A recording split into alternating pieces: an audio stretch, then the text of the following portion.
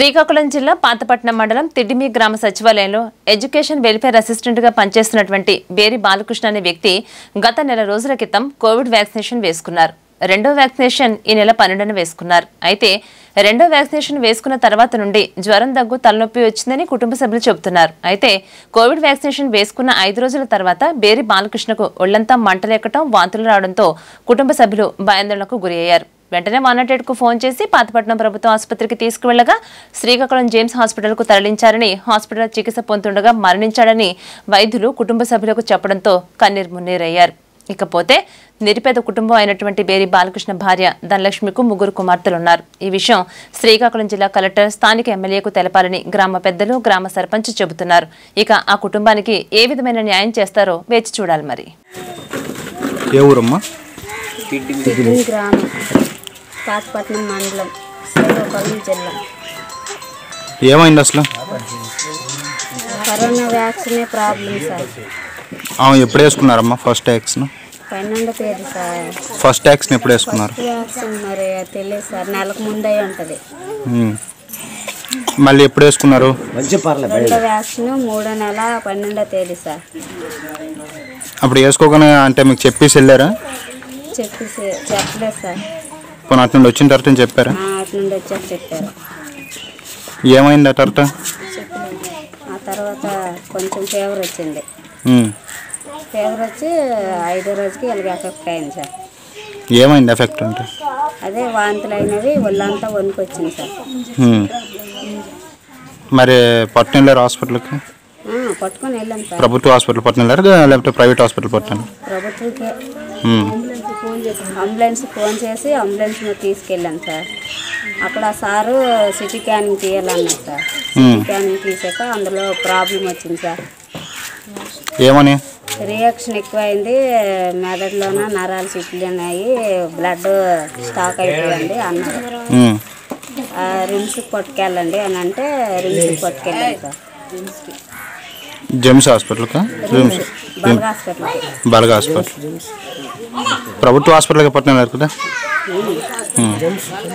మరి అటు నుండి ఆడ పట్నం దాకా ఉందిరా అంటే మధ్యలో మధ్యలో చనిపోండ్రు మరి అక్కడికి వెళ్ళిన వరకు ఉందరో మరి నేను వెళ్ళలేదు సార్. మీరు రండి.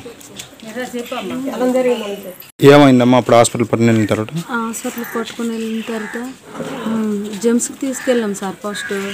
జెమ్స్కి తీసుకెళ్తే మీరు తెచ్చారు కానీ కొంచెం సీరియస్గా ఉంది. ఆ గంట అరగంట ట్రీట్మెంట్ చేశాక ఏ ఏ ప్రాబ్లం చెప్తాము? మీరు బయట ఉండండి అన్నారు సార్. అరగంట అయిన తర్వాత మరి మీ కేసు మంచిగా అవ్వదు మీ కేసు పోయింది అన్నారు సార్.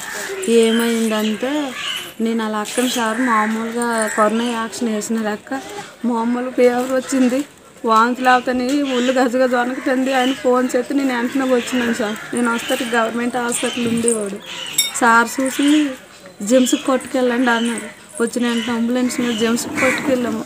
కొట్టుకెళ్ళిన తర్వాత తెచ్చారు కానీ ప్రయత్నం లేదు. మీ తమ్ముడికి సీరియస్గా ఉంది. అరగంట బయట ఉండండి. తర్వాత ఏదో చెప్తే మన్నారు సార్. తర్వాత చెప్పినారు మీ తమ్ముడు చనిపోండి ఏమైందంటే ఇలాగ కొన్న యాక్సిన్ రెండో డోస్ వేసుకున్నారు దానివల్ల వాంతులు అయినాయి ఒళ్ళు గజగజ ఉనికింది రెండు సార్లు తగ్గి ఆవేశం వచ్చింది. ఇలా తీసుకెళ్ళినాం సార్ వీళ్ళకి చనిపోండి అన్నాం. అన్న తర్వాత వాళ్ళ స్టాఫ్ వచ్చినారు సార్ సచివాలయం స్టాఫ్. పదండి తిరగ తెచ్చాను మాకు ఏటి తెలియలేదు ఏటి రాలేదు తిరగ తెచ్చిస్తే వాళ్ళ స్టాఫ్ వచ్చి బలగా హాస్పిటల్కి పట్టుకుని వెళ్ళాం పదండి అని. వాళ్ళ సచివాలయం స్టాఫ్ మొత్తం తీసుకుని వెళ్ళినారు సార్. అక్కడ పోస్ట్ మార్టర్ అయింది సార్. మళ్ళీ అటు నుంచి ఇటు రెండు గంటలకు తెచ్చినాం సార్ ఇంటికి. పోస్ట్ మార్టర్ అయిన తర్వాత. నాకు ఫోన్ చేసి చెప్పినాడు అక్క రెండో డాష్ వేసుకున్నా లైట్కి ఫీవర్ వచ్చి వాంతులు అయినాయి అలాగ అవుతాయి అక్క?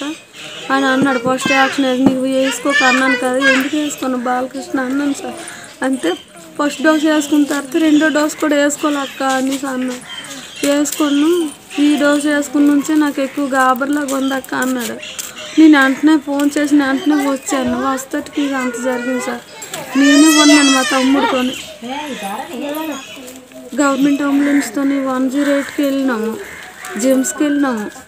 అక్కడ ఒక అరగంట ట్రీట్మెంట్ చేసి మేడం అంది మరి మీ తమ్ముడు బాగోకుండా ఉన్నాడు. ఒక అరగంటలోనే ఏదో వాడు చెప్తామన్నారు తర్వాత మీ తమ్ముడు చనిపోండి అని చెప్పినారు సార్. తర్వాత అంబులెన్స్తో తెచ్చినాము. మధ్యలోకి తెచ్చిన తర్వాత సచివాలయం స్టాఫ్ వచ్చింది. సచివాలయం స్టాఫ్ వచ్చి మళ్ళీ బలగా హాస్పిటల్కి పట్టుకెళ్ళి కలెక్టర్తో ఫోన్ చేసి మాట్లాడి పోస్ట్ మార్క్ మా ప్రెసిడెంట్ వాళ్ళందరూ చేసినారు సార్. మళ్ళీ రెండున్నర గంటలకి ఇంటికి తెచ్చాను సార్. రాత్రి